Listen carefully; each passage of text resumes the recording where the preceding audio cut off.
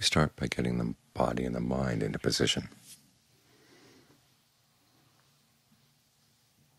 Getting the body in position means that you sit straight, face forward, close your eyes,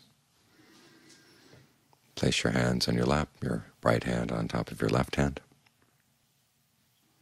Getting the mind in position is something we've already started doing. We've had those chants on goodwill, remind ourselves that we want to be happy, but we want all beings to be happy, which means we're looking for a happiness that doesn't harm anyone. And that kind of happiness has to come from within. Because when you look for happiness outside, you end up taking something that someone else is going to have to give up. You gain, someone else loses. They gain, you lose. That's the way it is with external happiness, or happiness based on external things. So we remind ourselves of why we're here. We want a happiness that comes from within, that comes from developing inner resources.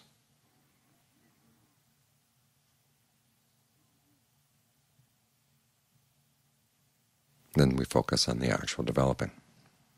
Focus on your breath. Take a couple of good long, deep in and out breaths, and notice where you feel the breathing process. It's not just the air coming in and out of the lungs. There's a movement of energy through the body that brings the air in and allows it to go out. That's part of the breath, too.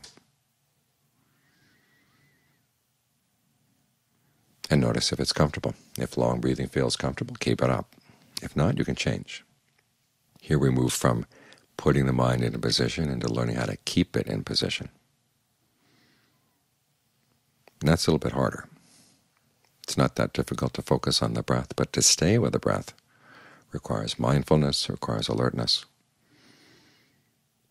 requires ardency. Mindfulness here means keeping it in mind. This is where you want to stay. Trying to develop qualities of mindfulness, alertness, concentration, discernment, you have to be able to stay with something over periods of time in order to see anything at all, in order for the mind to settle down. So you want to keep reminding yourself each time you breathe in, this is where you want to be, is with the breath. Each time you breathe out, this is where you want to be.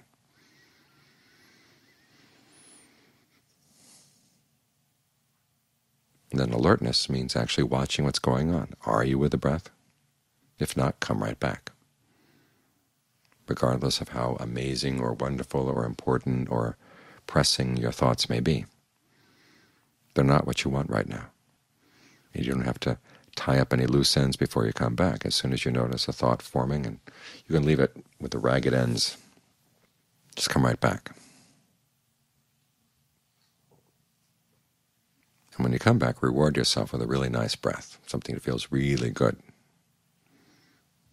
You may begin to notice as you watch the breathing process in the body that there are certain parts of the body that seem to be starved of breath energy. They're not getting involved. They don't feel as energized as the other parts do. Well, allow them to have their share. You might want to make a scan through the body to see where the breathing process feels good, where it doesn't feel so good. Can you coordinate things so that it all feels good?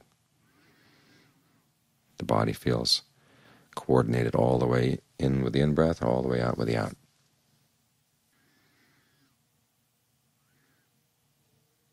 This relates to another quality we're trying to develop, the one of ardency. You want to do this well. You want to give it your full attention.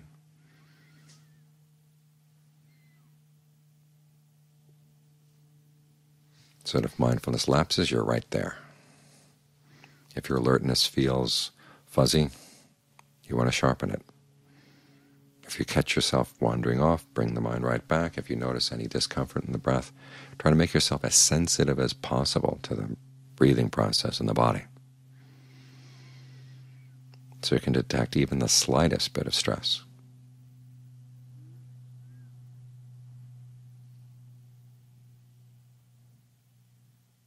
And then just keep that up. That's all you're responsible for right now. Lifting the mind up from its ordinary preoccupations. The Buddha calls this the heightened mind, the mind in a state of concentration. On the full moon night in February, the first year after he had gained awakening,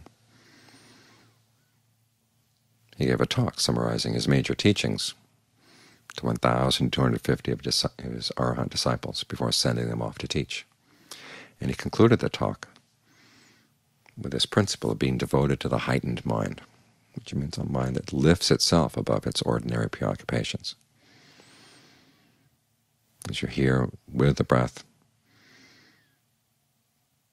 sensing the body from within, you can put aside sights, sounds, smells, taste, tactile sensations, any sensual desires, any ill will you might have for anybody, torpor and lethargy, restlessness and anxiety, uncertainty. Lift the mind above those things. Don't let it get involved the way it normally has been involved.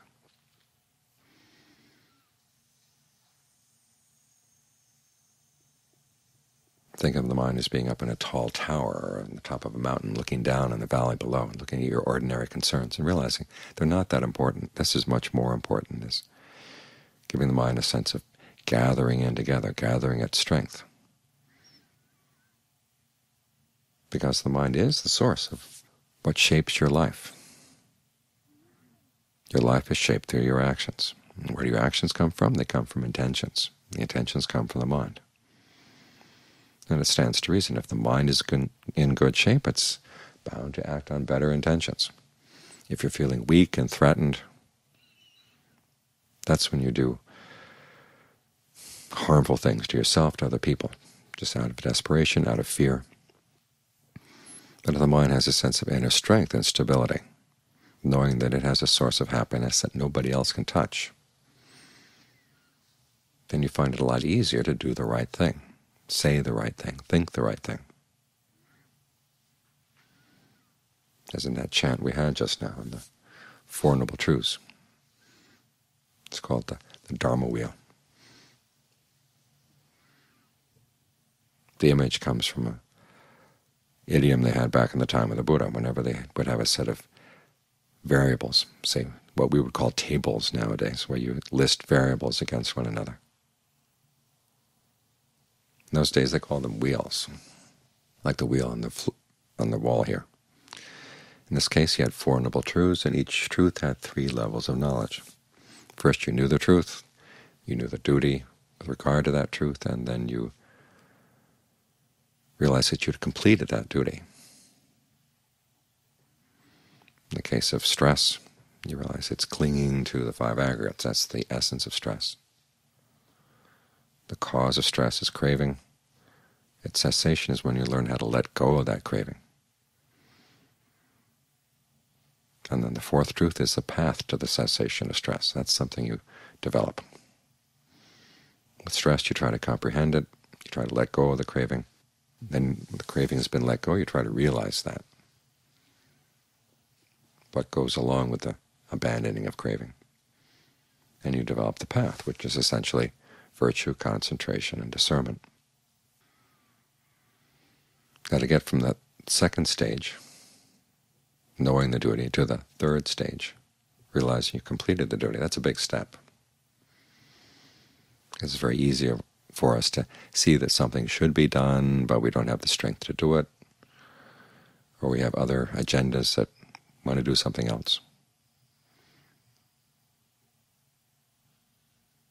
So this is one of the reasons why we try to train the mind to lift it above its ordinary concerns. Because the mind, when it's strengthened like this, when it feels more secure and has a greater sense of well-being within, finds it a lot easier to do the right thing. Your vision is a lot clearer. You're a lot less hungry for other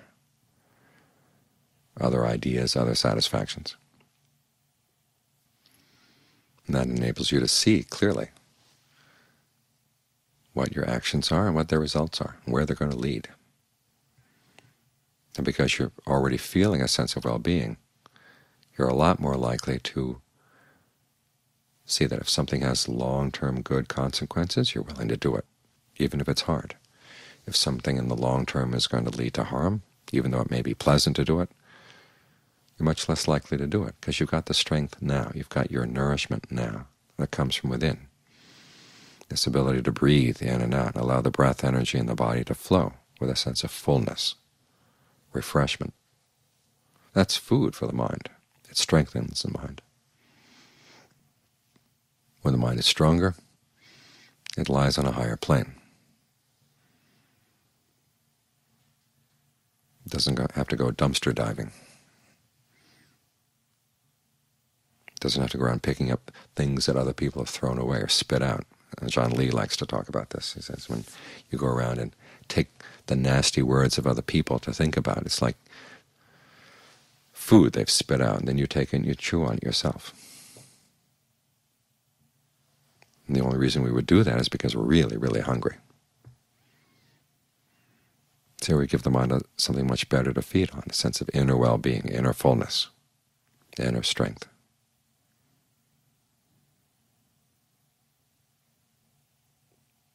We look at the things that other people spit out, and we say, we don't need that. You just leave it right there. That's their business and none of yours. You think about other pleasures you could get. That would carry harmful consequences in the wake. You realize you don't need that either. Why would you want to go for that? You've got this sense of well-being right here. So work on developing this. This is this is why meditation is not a selfish activity. The fact that you are able to build an inner sense of well-being, an inner sense of strength, means that you're going to treat other people a lot better than you have in the past. You don't have to cling to them. You don't have to feed on them.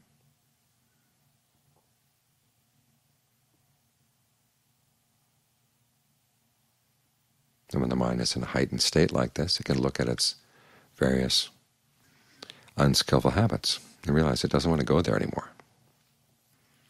You can look at the normal concerns that people run around and fight over with a sense of dispassion.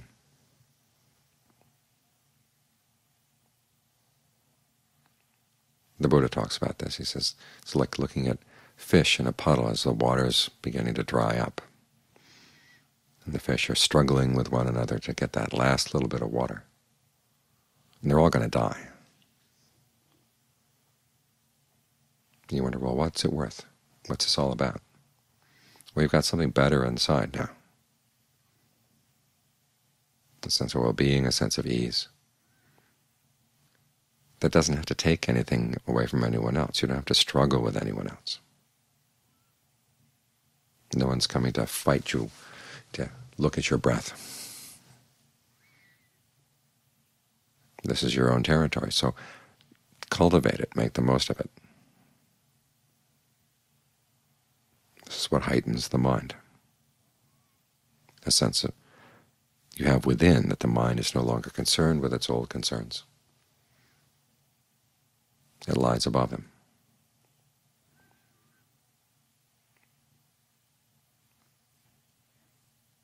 It lies above all the squabbling that goes out in the world out there. This is a mind that's good for you, and it's good for the people around you.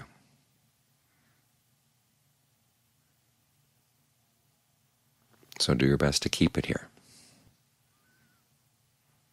It may take time to get that sense of inner strength and inner nourishment, but if you stick with it long enough, you develop a taste for it, and you develop the ability to fix it for yourself every day, in the same way that you fix food for yourself every day.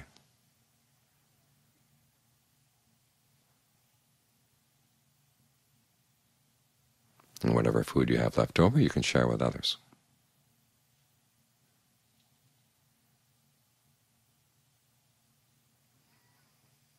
So do your best to keep the mind right here. Keep it in position.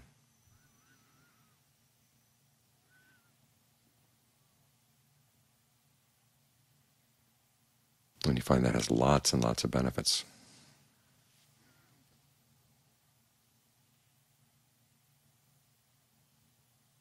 that you'll see for yourself.